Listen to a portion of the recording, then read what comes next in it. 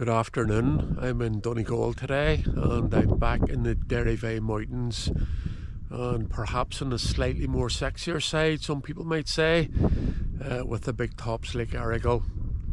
Uh, and the plan today is to take in a new top and explore some lovely Corrylocks that I've never been around before.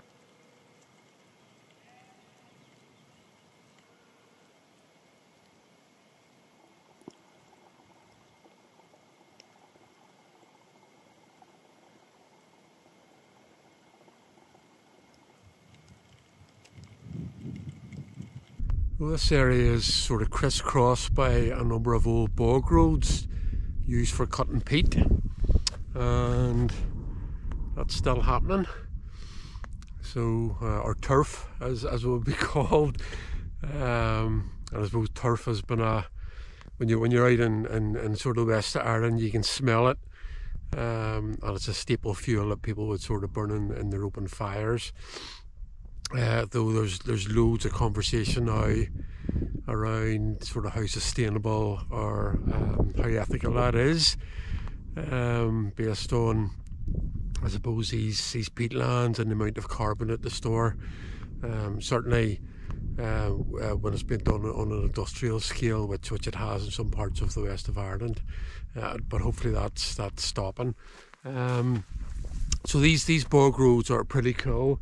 Uh, they're giving me a wee bit of relief from the bog, uh, which I suppose is what they're all about. Though uh, I, I do think I'm going to have to slog over quite a bit of bog, so it's going to be a bit of pain before the gain, uh, before I reach the heights, and, and that's just the way it is, I think, with this route, but that's okay.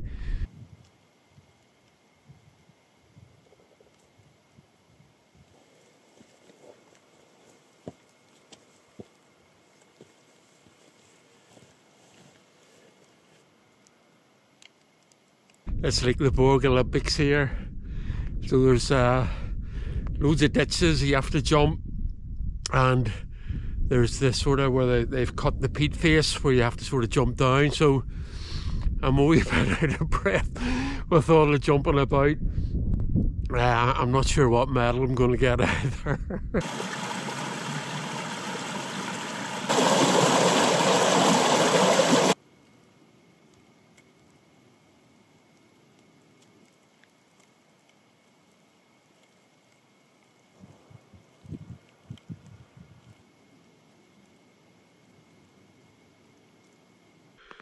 it finally feels like I'm getting somewhere. so this is Loch Moyle, um, and that lovely mountain which has been bathed in sunshine for uh, for quite a while is Muckish Mountain. Uh, and where am I going? I'm going over there. So that's Crocknalaragagh, uh, and that's the mountain I haven't been up before. So uh, maybe seem like a bit of a convoluted route and lots of bog tramping, but I'm gonna uh, go up that ridge up to the top, follow along the top, and then drop down to the call. And there's a, a Corrylock in there, and then uh, the climb up.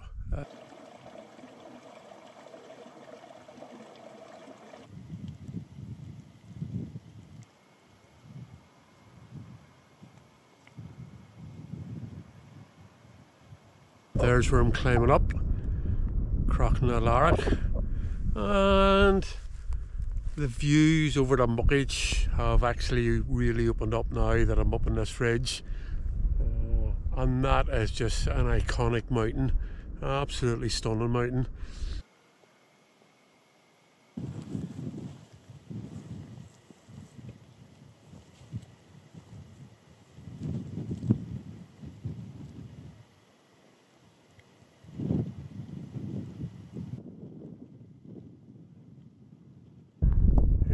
The summit of Crochna Laraach, uh, and it's 471 metres. So I'm glad to have gotten here, um, and just fantastic views as you can see there over the Muckish Mountain. And if I swing round, that's back over to uh, Aghla More where I'm heading next. And there's actually some really nice cool views opening up out east to the other big line of the Derryveagh Mountains, sort of from Dooish uh, down to Slieve Snaght, uh, looking absolutely glorious in, in the evening light. And there's a couple of fantastic locks up here as well. Um, and I'll walk back past those and, and, and, get a get a view of those as well. Uh, but this this is a cracking wee hill, uh, and it's a spot where you you can easily uh, down for the night.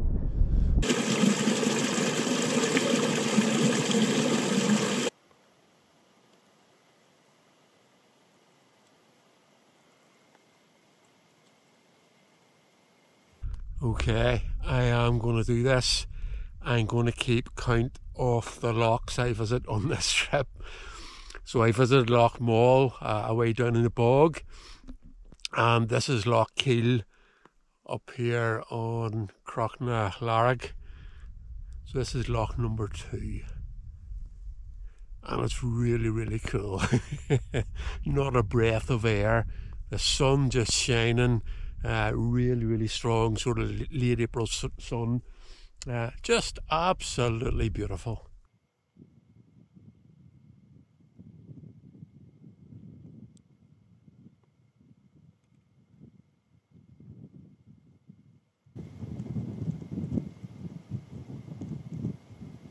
Loch number three, Loch Nadrigar.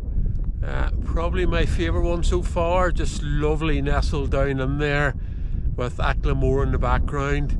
Uh, and I was trying to remember the last time I was sort of counting things, uh, and it was when I was in Melmore Head and I was counting the number of beaches. Uh, so this is maybe going to be something similar today. So that's lock number three.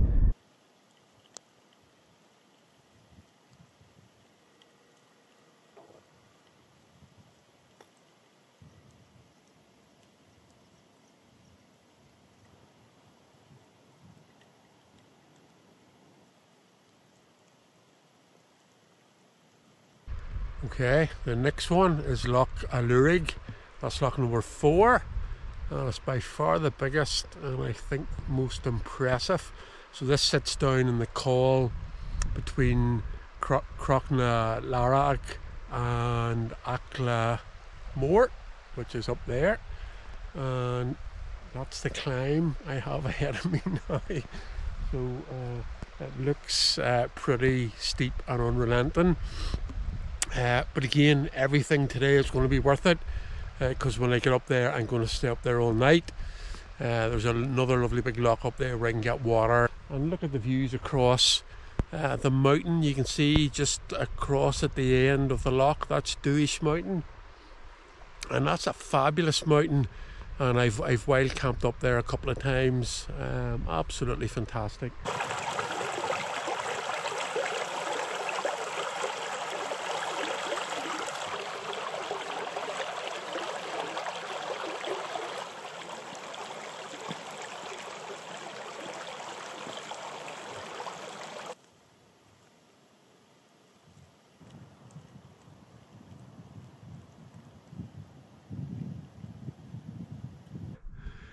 Now, that was tight, just steep, unrelenting, and wet.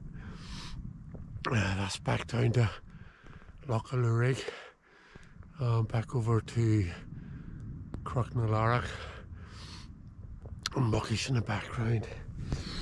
Uh, but I'm uh, I'm nearly up, uh, and I may have missed the sun going down. I'm going to head over there and see what I can see.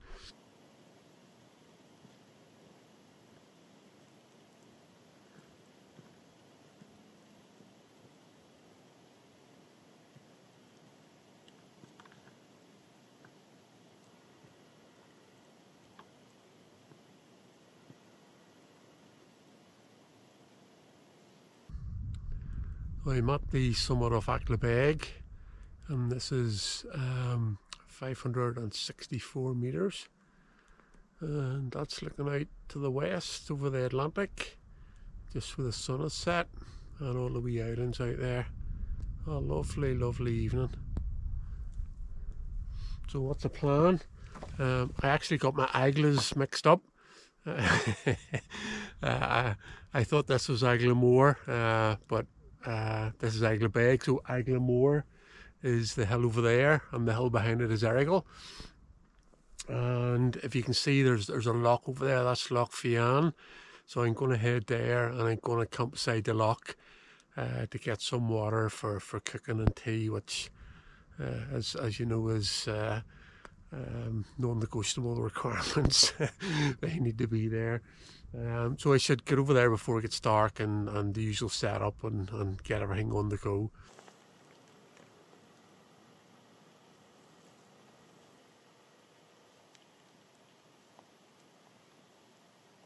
Um, before we get to Loch Feeane, that's um, now Barry down there. So that is lock number five. And obviously then lock Feeane will be lock number six. Beautiful, beautiful, beautiful.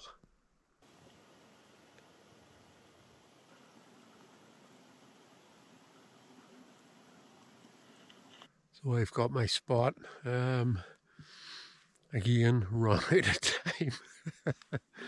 um, so uh, I'd, I'd intended to maybe camp up the top of uh, Aghla More, but just uh, don't have the time to do that. Uh, would have got water here and then went up. Um, so I've just found a spot above the lock, Loch Feeane. Um, I'm going to set up here, uh, grand, uh, fairly level, good ground, um, and a cracking fuse. Um, and look at that um, sky still absolutely gorgeous. Um, so I'll get set up here and I'll nip down the lock and, and fill my two water bottles and I'll, I'll get me, me food and, and drink on the go.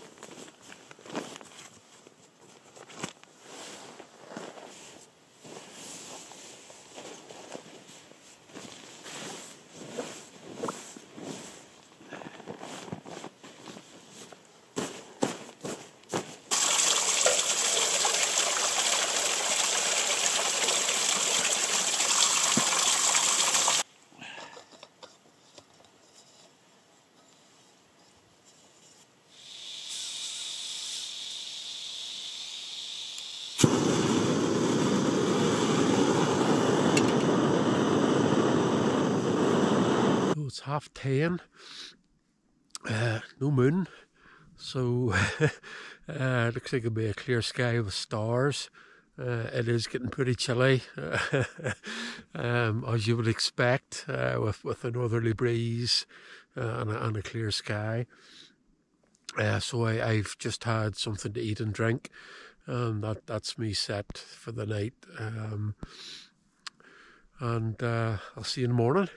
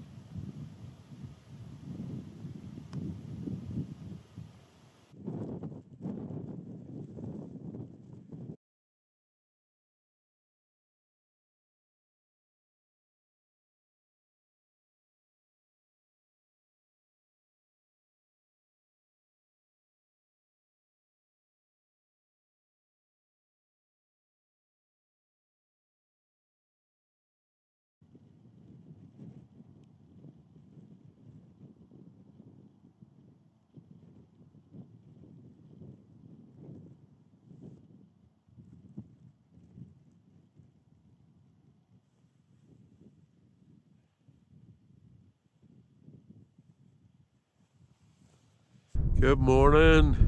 Uh, um, it was a cold one last night. Uh, breeze got up. Uh, there was actually a bit of frost in the ground this morning, uh, but I, I had uh, my gloves on over my, my feet, so that, that kept me okay. Uh, and I think I had a decent night's sleep. In fact, I know I had. Uh, the sky did stay pretty much clear, and the moon did rise. It was after midnight, and it stayed fairly low in the sky so it was quite bright uh, this morning. Uh, there's a wee bit of cloud hugging some of the tops, which is quite cool, sort of flowing over. Uh, it, it is still pretty cold. Uh, that breeze is really, really biting. Uh, there's over to Aghla More, where I'll be, uh, it's when I packed up, I'll be heading up there. And there's down to Loch Feeane. Uh, so really, really uh, fantastic looking morning and day to come uh, for the wee bit of dandering I still have to do.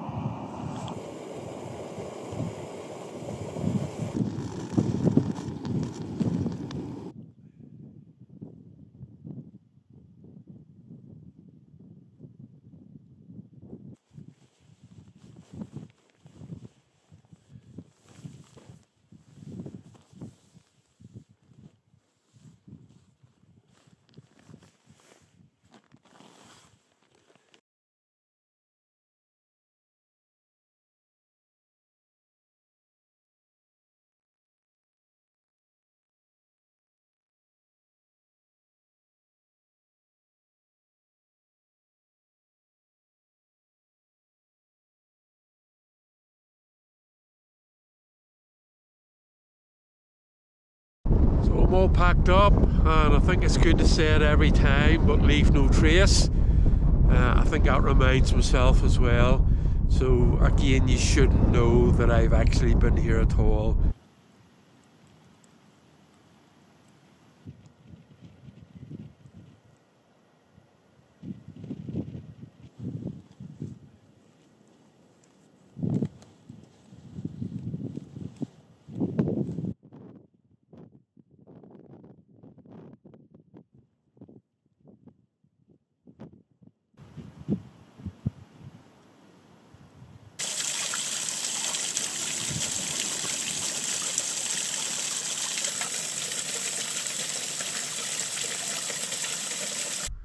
That was quite a drop off uh, Aghla More. I think it was about maybe 400 meters.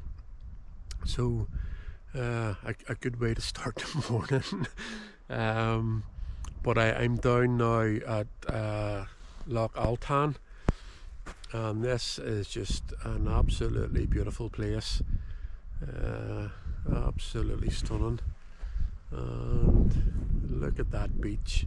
Wow. Uh, if you had a car park here and, and, a road to it, it would be bunged all the time. Uh, and if you can see in the background there, that's the remains of the old farmhouse. Uh, there used, used to be like a, a, an old farm here away, goodness knows how many years ago, uh, but just in ruins now. I've actually camped here once before, and that was the last time I was here, and that was probably about three years ago. So uh, it's well, well due return.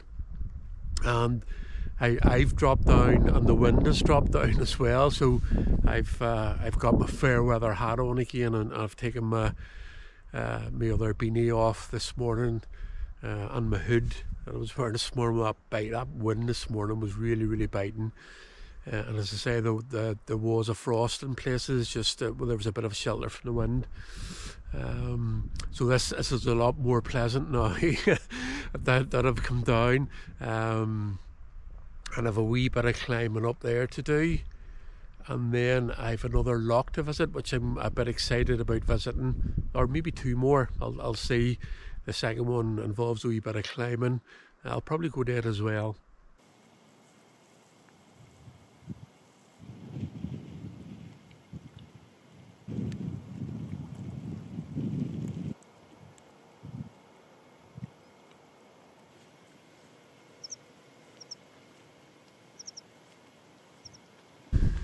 And would you believe it?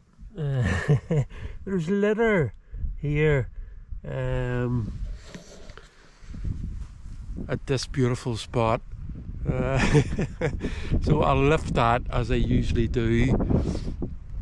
Um, just in, in line with the Mountaineering in Ireland Take One from the Hills campaign. So that's one less piece of litter in the hills just by me taking a couple of seconds to lift that.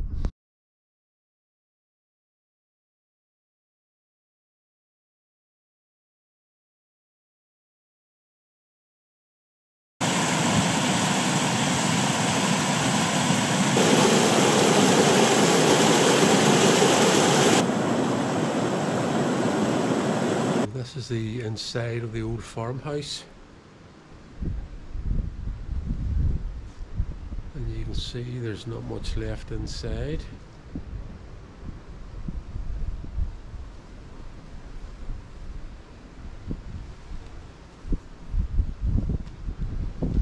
This obviously had two stories. You can see there's one, two fireplaces. Hmm. And I don't know if it had like a, a third sort of story in the top. But um, look at that.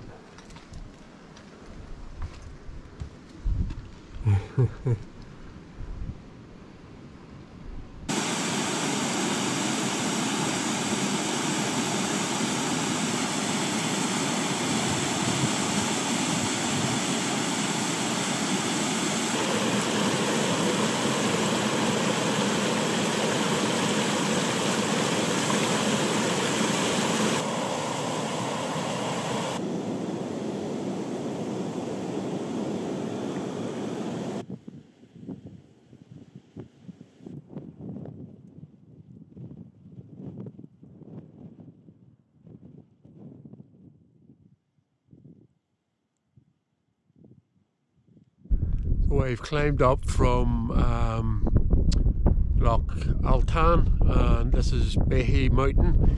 That's the 192 metres, and I'm going to drop back down to the loch I was talking about. So that's um, Loch Nabehi uh, down there. I've never been down it before, and it just sits at the base of uh, Mackoght Mountain.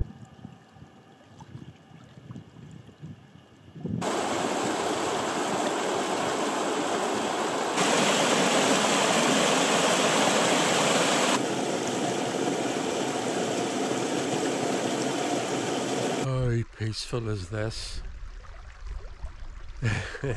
There's a wee stream running out at the uh, at the end of the lock here. There's actually a wee spot here where you, you could probably get a bivy bag down. Uh, but it's just lovely down here.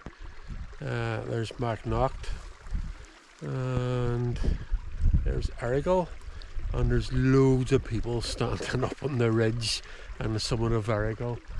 Uh, I, I can see them. It's near enough like a queue uh, at the top, which which is cool. You know, it's it's a fantastic viewpoint up there. Um, it was a lot more peaceful down here.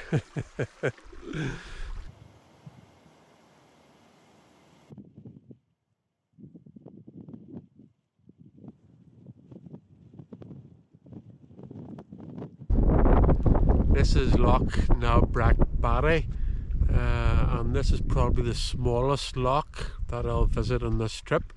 And it's number nine but it's probably in the most scenic location just nestled between Errigal and Mackoght uh, lovely spot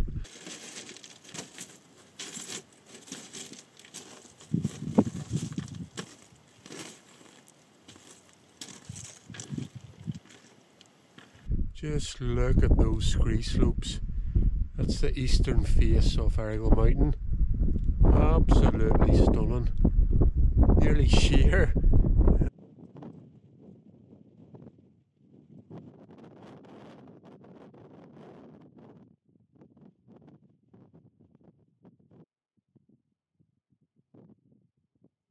I started uh, uh, trot through the bog and use new bog roads and I'm doing the same on the way out.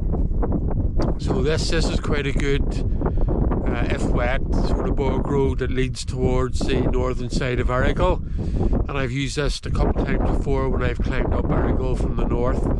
Um, and, and it's, it, it's sort of providing a, a good way for me to, to go out of the hills um,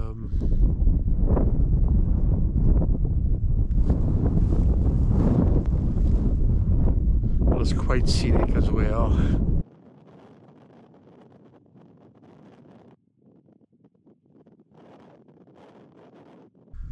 So it's been a really, really good couple of days. Um, pretty much followed the route that I planned. Uh, took in one new top. Uh, there's not many tops here in the Derryveaghs I haven't climbed, but um, Lárach uh, was certainly one of them, and I, have climbed it. And visiting all those wee locks. that, that was uh, what I planned to do. So sort of going off the beaten track a wee bit. I'm not just sticking to the mountain tops. Uh, and, and, I've managed nine so far. Um, there's actually a lock where I've parked, Proclus Lock. So I, am going to give it a score of 10 for the number of locks. Um, fantastic weather.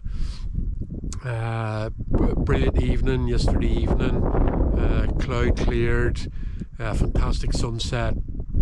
Bitterly cold last night uh, biting easterly wind and, and out of the wind there was frost so it was certainly down to freezing and I, I did have my gloves on my feet and, and I think that sort of saved uh, the, the, comfort zone a wee bit and then absolutely beautiful this morning as well um, fantastic sunrise and it's been it's been really cool all day uh, if, if not uh, cold, cool, cold at times with the breeze, but lower down, like where I'm at now, um, it, it, actually does feel quite warm. So, uh, another good trip, and again, uh, it pays to get out, and I think it pays to try something different as well.